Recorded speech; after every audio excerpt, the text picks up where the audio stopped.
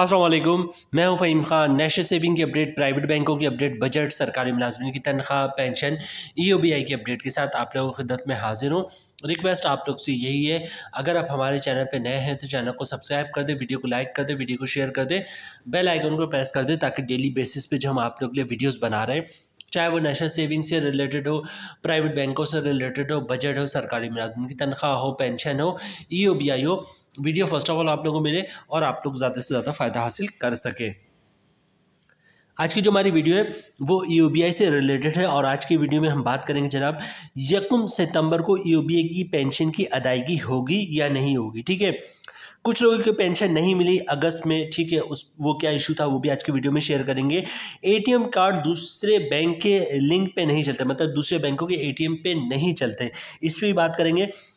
SMS कुछ लोगों को मिलता है, कुछ लोगों को नहीं मिलता। ये भी आज की वीडियो का हिस्सा होगा जनाब। और यकम सितंबर को ई की पेंशन कितनी मिलेगी? तो ये चार पाँच टॉपिक्स है, जिन पे आज हम बात करेंगे। एस एम एस अलर्ट्स मतलब कुछ एस एम एस का मसला जो है, वो अभी तक हल नहीं हुआ, ठीक है? कुछ लोगों को एस एम एस मिलता है और कुछ लोगों को एस एम एस नहीं मिलता, ठीक है? तो S M S M S पर डिपेंड ना करें एस एम एस का वेट ना करें। मोबाइल बैंकिंग से इंटरनेट बैंकिंग से एस एम एस बैंकिंग से, ठीक है? व्हाट्सअप से और कॉल सेंटर से ब्रांच कॉल करके या ए टी एम मशीन में आप एटीएम डाल के भी जो अपना अकाउंट का बैलेंस चेक कर सकते हैं। तो इतने ज़रा है जिससे आप बैलेंस जो है वो चेक कर सकते हैं और ख़ास तौर से जो सबसे ज़्यादा आजकल यूज़ हो रहा तरीका, वो एस एम एस अलर्ट से एस एम एस बैंकिंग है, उस पर थोड़े से चार्जेस लग जाते हैं, इसलिए अब लोग जो है व्हाट्सअप बैंकिंग जो है वो ज़्यादा यूज़ कर रहे थे व्हाट्सअप बैंक बैंकिंग पे मैसेज करते हैं ऑटो रिप्लाई आता है आपको और पता चल जाता है आपके अकाउंट का बैलेंस कितना है। तो ये कुछ ज़रा है जिसके ज़रिए आप जो है एस एम एस का वेट नहीं करें और जो है वो आप चेक कर सकते हैं आपके अकाउंट बैलेंस क्या है। ठीक है, दोबारा मैं रिपीट कर रहा हूँ। मोबाइल बैंकिंग से इंटरनेट बैंकिंग से एस एम एस बैंकिंग से व्हाट्सअप बैंकिंग से कॉल सेंटर से ब्रांच कॉल करके या फिर ए टी एम मशीन में भी अकाउंट बैलेंस इंक्वायरी का ऑप्शन मौजूद होता है, उससे भी आप चेक कर सकते हैं अकाउंट का बैलेंस कितना है। अच्छा यू बी आई पेंशन के बाद जो ए टी एम है बैंक अल्फला का, बहुत से लोगों का ये कहना है कि जनाब दूसरे बैंक पे जब हम ए टी एम ये यूज़ करते हैं बैंक अल्फ़ा का जो ई बी आई पेंशन वाला तो ये जो है एटीएम काम नहीं करता दूसरे बैंकों पे और दूसरे बैंकों ने जो है कोई कोड लगाया हुआ ताकि ई आई पेंशनर्स जो है वो उनका एटीएम यूज़ ना कर सके। ठीक है? देखिए, ये सब बात इन्फॉर्मेशन बिल्कुल गलत है। कभी कभार ऐसा होता है लिंक डाउन होता है, जिसकी वजह से ऐसा होता है कि दूसरे बैंकों पे जो है एटीएम काम नहीं कर रहा होता, लेकिन इट डजेंट मीन कि जो है वो दूसरे बैंकों ने जो है लिंक कोई कोड डाला हुआ है कि बैंक अल्फला का एटीएम जो है वो यूज़ ना कर सके, या फिर बी आई पेंशनर जो है वो पेंशन यहाँ से इस एटीएम से पैसे ना निकाले। ठीक है? वो अगर कोई दूसरा बैंक आपको पैसे देता भी मतलब दूसरे बैंक का आप एटीएम यूज़ भी करते तो आप तो उसको फ़ीस दे रहे हैं, उसकी पेमेंट कर रहे हैं, अट्ठा, पंद्रह रुपये अट्ठारह रुपये बीस रुपये जो है, उसके चार्जेस आप उसको देते तो फिर वो बैंक जो है, वो क्यू जो है, वो पिन कोड लगाएगा और आपको पैसे निकालने नहीं देगा, ठीक है? तो ऐसी कोई इन्फॉर्मेशन नहीं है कि कोई दूसरे बैंक ने जो है, वो आप बैंक अल्फ़ा का ए ब्लॉक किया गया है, ऐसा कुछ भी नहीं है लिंक डाउन होता है, तब ये मसला आ सकता है। अच्छा कुछ लोगों को जो है वो अगस्त की पेंशन नहीं मिली, ठीक है? ये कौन लोग हैं? वो लोग हैं जिनका सी एन एक्सपायर हो गया था और उन्होंने ब्रांच जाके उसको सी एन को एक्सपायर अपडेट नहीं कराया या फिर बायोमेट्रिक का जो है वो इशू आ रहा था तो उन्होंने बायोमेट्रिक भी नहीं करा तो जिनकी वजह से इनका अकाउंट जो है आर्जी तौर पर ब्लॉक किया गया था और वो भी ब्लॉक है। तो इसको फटाफट जाए और अपने अकाउंट को बायोमेट्रिक का मसला है तो वो हल करवाएँ या फिर सी एन एक्सपायर हो गया तो सी एन कॉपी देते ताकि अकाउंट आपका एक्टिवेट हो सके और आपकी पेंशन जो है वो आ सके, वरना इस महीने भी ये इशू जारी रहेगा।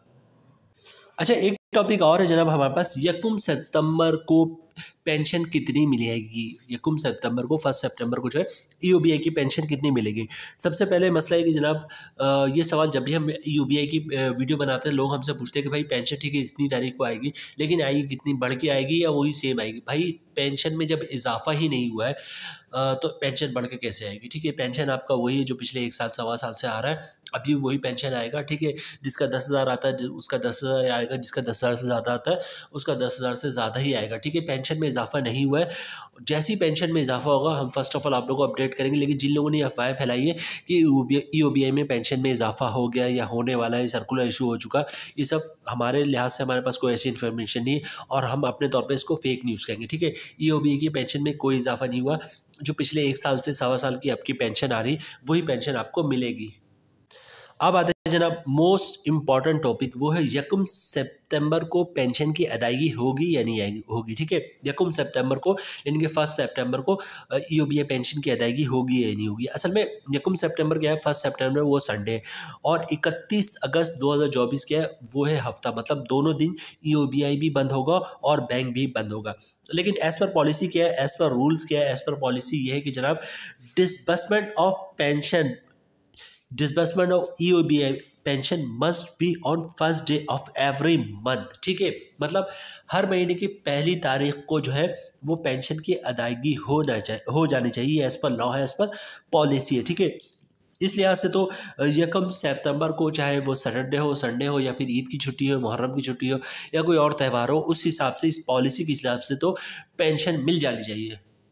लेकिन जब कभी ऐसा होता है कि पहली तारीख जो है, वो हफ़्ते को या एतवार को होती है तो जनाब ई e की पेंशन रोक ली जाती है। मतलब ई e के अकाउंट में पेंशन नहीं आती, ठीक है?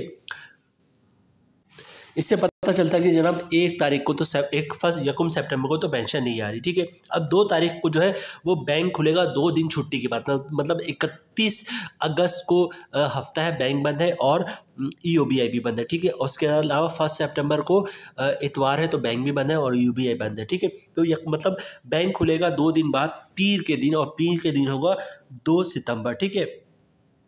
दो सितंबर को जो है ईओबीआई पेंशन की अदायगी का प्रोसेस जो है, वो स्टार्ट होना चाहिए। लेकिन मसला ये कि पीर का दिन होगा, पीर के दिन बैंकों पे बहुत ज़्यादा रश होता है, ठीक है? चाहे वो बैंक हो हेड ऑफ़िस कहीं भी हो, क्योंकि बैंक दो दिन बाद खुलता है तो पीर के दिन जो है, वो बहुत ज़्यादा रश होता है बैंकों में तो अगर पीर के दिन मतलब दो सितंबर को जो है ईओबीआई की पेंशन कोई जो फंड ई जो फंड इशू करता है बैंक को, अगर इन टाइम इशू हो गया, तब हमारे पास जो इन्फॉर्मेशन उसके मुताबिक कुछ लोगों को ही जो है, वो दो सितंबर को जो है, वो पेंशन मिल पाएगी। मतलब हंड्रेड परसेंट या नाइन्टी परसेंट या फिफ्टी परसेंट भी जो है, वो दो सितंबर को जो है, वो पेंशन नहीं मिलेगी। जी, हमारे पास इन्फॉर्मेशन हमारी तो दुआ है, अल्लाह करे कि एक तारीख को ही जो है, वो मतलब फ़र्स्ट सेप्टेम्बर के इकतीस अगस्त को ही जो है पेंशन ई की मिल जाए हमारी दुआ। और हमारी जो इन्फॉर्मेशन अल्लाह करे गलत हो कि एक सितंबर नहीं, दो सितंबर को भी जो है, वो पेंशन आना मुश्किल है। ठीक है?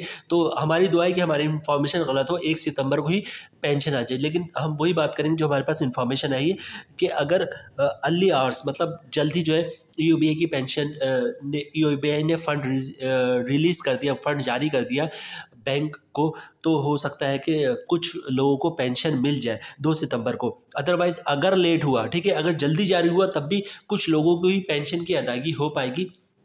और अगर यू e ने फंड्स लेट जारी किया तो जो पेंशन की अदायगी है मतलब पेंशन का जो प्रोसेस है, वो तीन सितंबर से शुरू होगा।